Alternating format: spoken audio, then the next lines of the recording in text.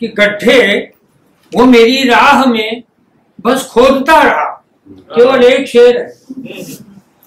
गड्ढे गड्ढे वो मेरी राह में बस खोदता रहा। उसने मुझे छलांग लगाना सिखा मेरी राह में बस खोदता रहा। उसने मुझे छलांग लगाना सिखा दिया। और एक बड़ी हल्की फुल्की गज़ल पढ़ रहा हूँ।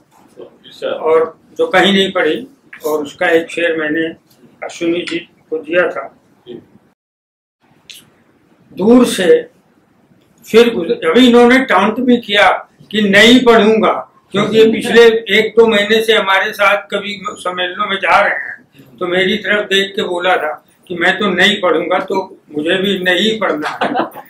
तो ये हम लोगों में चलता रहता है। दूर से बड़ी हल्की गज़ल है दूर से फिर गुजर गया कोई। दूर से दूर से फिर गुजर गया कोई खत्म हर बात कर गया कोई। वाह क्या बात है, वाह क्या दूर से है, है। दूर से फिर गुजर गया कोई खत्म हर बात कर गया कोई। और शेर मैं पहली बार कल उड़ा ऊँचे आज ही पर कतर गया कोई। से गया कोई। खत्म हर बात कर गया कोई। मैं पहली बार पहली बार कल उड़ा ऊँचे आज ही पर कतर गया कोई। और मेरी बर्बादियों को सुन सुन कर और ज़्यादा समर गया कोई। मेरी मेरी बर्बादियों को सुन सुनकर और ज़्यादा समर गया कोई। खत्म हर बात कर गया कोई। और अश्विनी जी शेर है। मैंने ख्वाबों में बस बुलाया। अच्छा। मैंने मैंने ख्वाबों में बस बुलाया था। सिर्फ़ इतने से डर गया कोई मैंने मैंने ख्वाबों में बस बुलाया था। सिर्फ़ इतने से डर गया कोई। खत्म हर बात कर गया कोई। मैंने बस एक निगाह देखा था। आप सुनिए। युवा लोग। मैंने मैंने बस एक निगाह देखा था।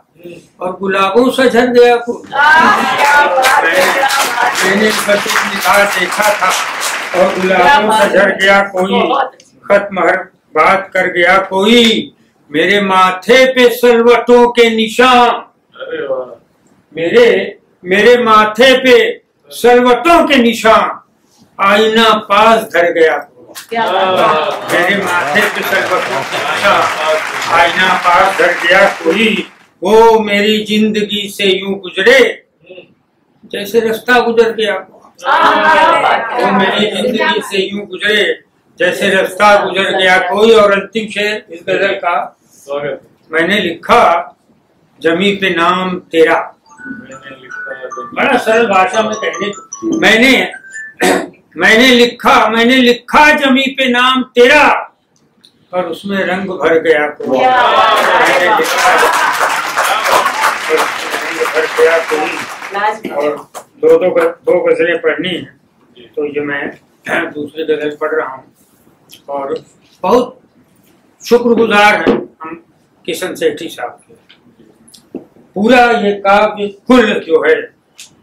ये खाली हम लोग ही नहीं शहर और शहर के बाहर के लोग क्योंकि ये पेन लेते हैं ये व्यवस्था करते हैं ये कैमरा ये दूसरी लाइटिंग ये सारी चीज़ें व्यवस्था करते हैं ताकि हम जो कहना चाहते हैं लोगों से ये उन तक पहुँचाने का काम करते हैं। तो हम ऐसे आदरणीय आदरणीय जाकिया साहब को नमस्कार करते हैं और पूरे मंच की ओर से किशन सेठी और तहजीब संस्था को नमस्कार करते हैं। गज़ल है। मुंबई जब आ रहा था तो मेरी माँ को छोड़ के सबने रोका था। तो वो उस पर है, समझाने पहला शेर बन गया था कोई अठारह बीस साल बाद बात की गज़ल बाद में बनी कि समझाने और रोकने वालों के बावजूद हाँ। समझाने समझाने और रोकने वालों के बावजूद हम दौड़ पड़े पाँव में छालों के बावजूद। समझाने और रोकने वालों के बावजूद हम दौड़ पड़े पाँव में छालों के बावजूद। दिखता नहीं है सिर्फ़ वो चेहरा ही भीड़ में। दिखता नहीं है दिखता नहीं है सिर्फ़ वो चेहरा ही भीड़ में। आँखों के बावजूद उजालों के बावजूद। आँखों के बावजूद उजालों के बावजूद। तो शेर देखे उनकी गली में जाते रहे बार बार हम। कनक लता जी उनकी गली में उनकी गली में जाते रहे उनकी गली में जाते रहे बार बार हम। बर्बादियों की लाख मिसालों के बावजूद बर्बादियों की लाख मिसालों के बावजूद। झुकता है मेरा शीश बस उसकी ही वज़न में। देखिए झुकता है मेरा शीश बस उसकी ही वज़न में। इस रह गुजर में इतने शिवालों के बावजूद। इस रह गुजर में इतने शिवालों के बावजूद। और अंतिम शेर आज की शाम का, आज के संगठन का, आज का सजीव संगठन का। ये जरा सा थोड़ा बताऊँगा। मेरी बेटी कोटा गई थी एमबीबीएस का एंट्रेंस एग्ज़ाम की तैयारी में। तो जब उसको लेने हम गए कोटा से, हॉस्टल से लेके तो एक कार्ड सीट पकड़े हुए थे हाथ में।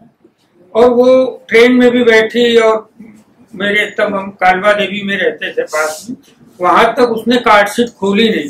फिर उसकी माँ ने पूछा ये क्या लेके तू कोटा से हाथ में पकड़े थे? तो तो हमने कहा दिखाओ। तो उसने दिखाया कि ये मैं शेर अपने कमरे में ये शेर में लगाकर रोज पढ़ती थी और रोज देखती वो बाद में सेलेक्ट भी हो गई एमबीबीएस के लिए। तो वो शेर मेरी इस गज़ल का है। जो मेरी बेटी ने वहाँ लिख रखा था ये भूमिका मैंने सोचा कि बताऊँ कि हमने तो झाड़ पोछ कर कश्ती उतार दी। हाँ। हमने हमने तो झाड़ पोछ कर कश्ती उतार दी। हमने तो झाड़ पोछ कर कश्ती उतार दी। लहरों के जोरदार उछालों के बावजूद हमने तो कश्ती उतार दी।